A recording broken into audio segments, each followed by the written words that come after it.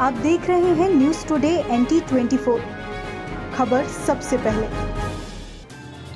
खबर यूपी के मिर्जापुर से, जहाँ कानपुर में दबिश देने गई पुलिस टीम पर किए गए हमले में आठ पुलिस कर्मियों की शहादत के बाद पुलिस अपने काम में जुटी है।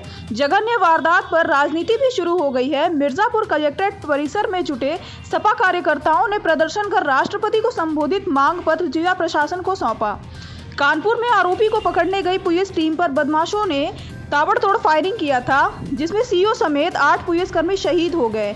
इस मामले से सरकार के खिलाफ सपाइयों ने जिला मुख्यालय पर नारेबाजी करते हुए विरोध प्रदर्शन किया। यूपी में बिगड़ती कानून व्यवस्था से खफा समाजवादी पार्टी के कार्यकर्ताओं ने जिलाधिकारी के माध्यम से राष्ट्रपति को संबोधित ज्ञापन सौंपा।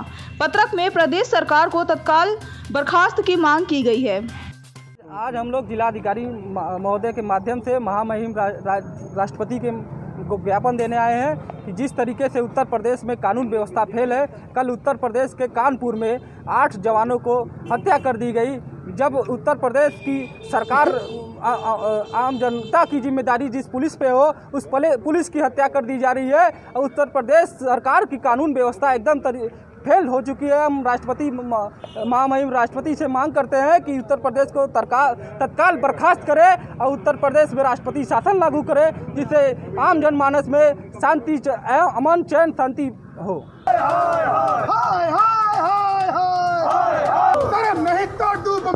मिर्जापुर से ब्यूरो आबिद संघ गुफरान की रिपोर्ट।